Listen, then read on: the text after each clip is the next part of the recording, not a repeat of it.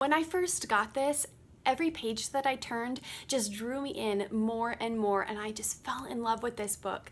So this is an amazing activity book for your older kiddos.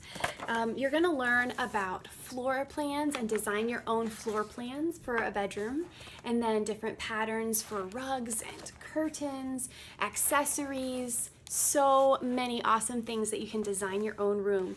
And then we have these pop out it's kind of hard to see on the video, but these are pop-out furniture that you can color and decorate um, and then set up so many pages of this pop-out furniture and then use stickers on the walls and ultimately you use the fold outs on the cover of the book to cut out and create a 3D model of a bedroom. So much fun, lots of hours of enjoyment, my beautiful room.